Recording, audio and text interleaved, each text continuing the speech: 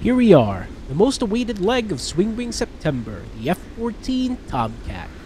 I wanted to do four parts of Swing Wing September and do the Su-24 Fencer before the F-14, but I did not anticipate how time-consuming this event would be. I know people have been waiting for the Tomcat. The Tomcat has a storied past and is perhaps one of the most iconic aircraft in aviation history. Top Gun reference notwithstanding, the Gulf of Sidra incident of 1981 and its subsequent role in the Gulf War cemented it as one of the most capable aircraft in the entire US military, if not the US Navy.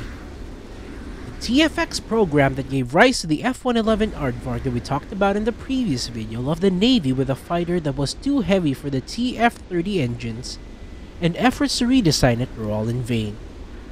When the plug was finally pulled in 1968, the F-111B was dead, and funding went to the finalists of the VFX program, and in 1969, Grumman won the contract.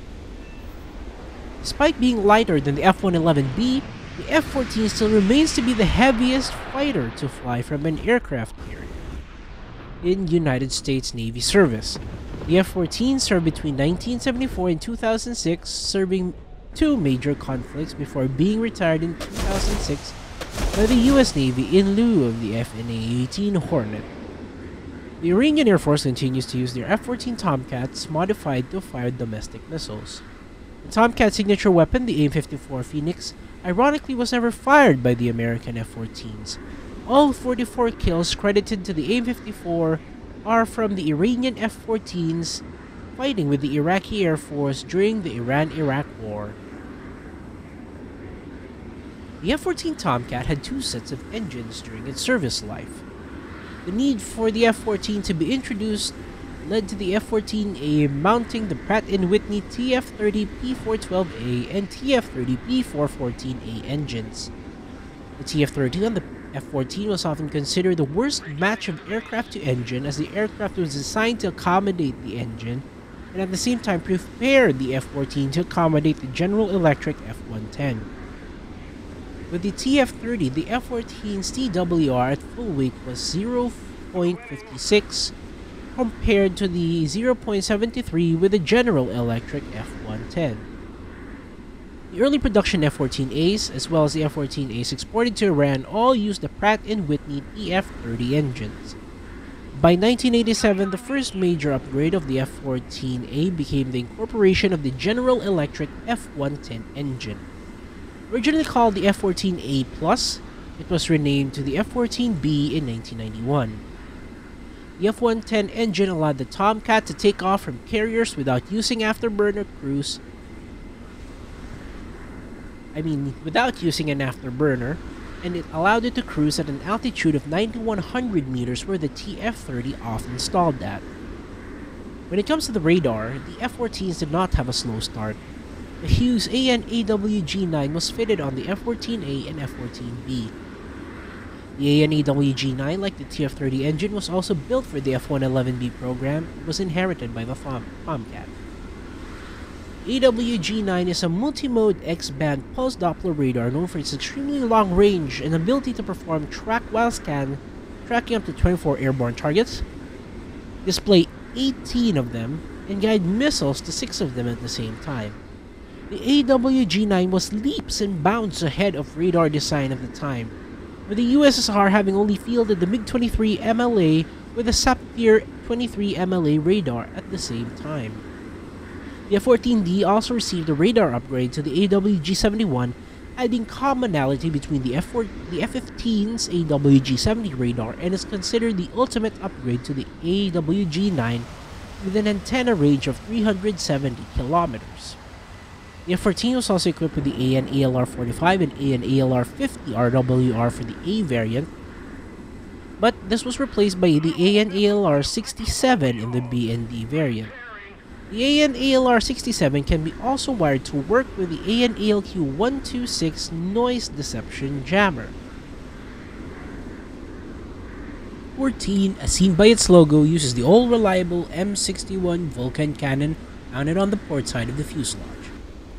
Carrying 675 rounds, F-4 Phantom pilots will be very familiar with this amount of ammunition.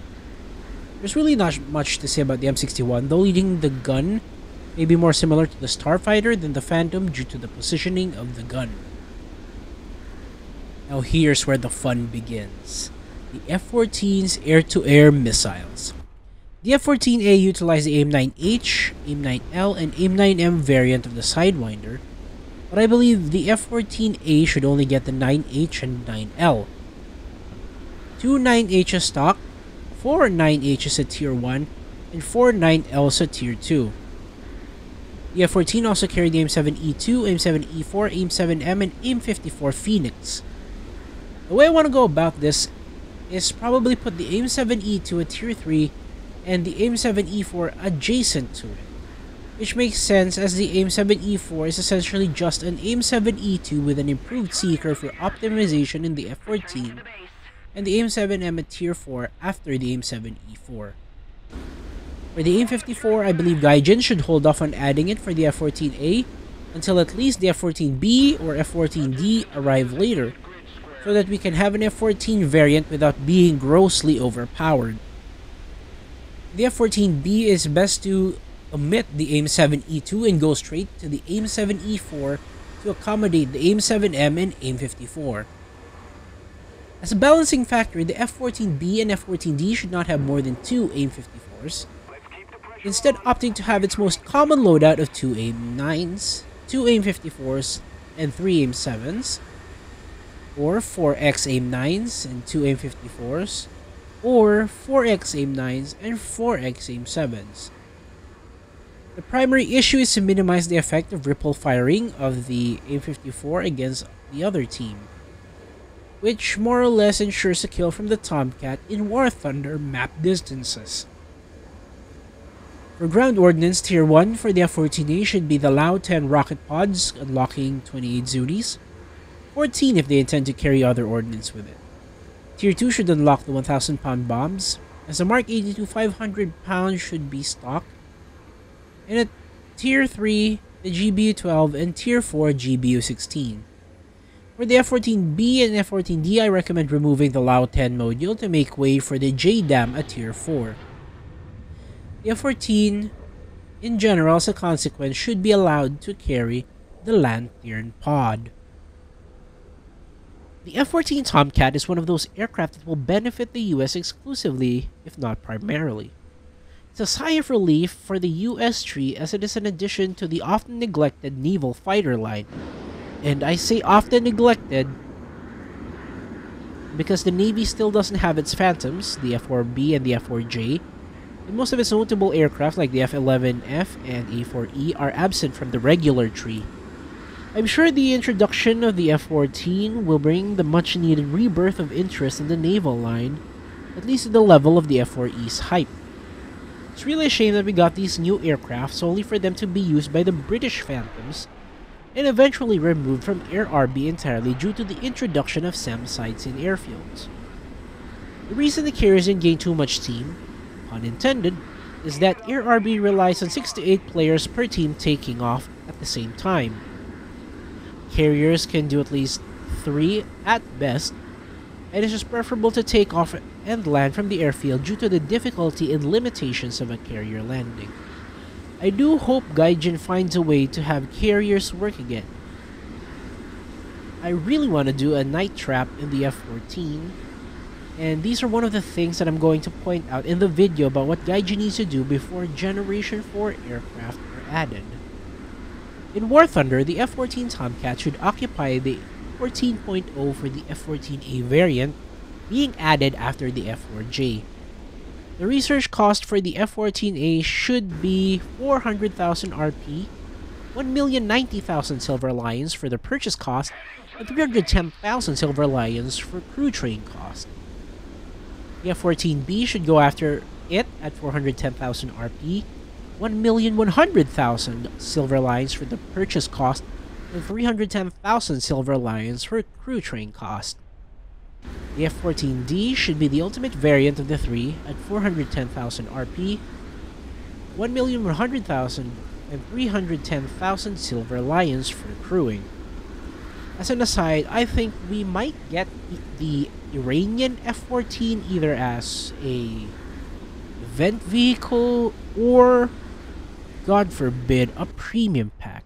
Gaijin, please don't make the Iranian F-14 a premium vehicle. We don't need premium AIM-54 Phoenixes. Finally, Swingwing September is done with the F-14 Tomcat. I had to take a day off playing the event to be able to do this video, otherwise the F-14 video would have been uploaded in October, defeating the purpose of the Swingwing September. Before we go forward with more in the series, I'll do a stream addressing your comments and questions so I can explain myself about some of my dubious sounding suggestions. Checking your comments, and I will explain most of it during a stream. I've been collecting your comments and I will explain the biggest questions um, that have been raised for my videos. After that, I'll also upload a video about what Gaijin needs to do before adding Generation 4 aircraft, and a video discussing the pros and cons of splitting the tech tree into modern and World War II trees. Also, as a platform to promote my videos, I've made a Twitter where I can post announcements, War Thunder content, and stuff I can't post on YouTube as I don't have a community tab yet. This link will be in the description, and by the time you see it, it should have at least two tweets up. Thank you again guys for watching, this is the Dr. MD, returning to the airfield.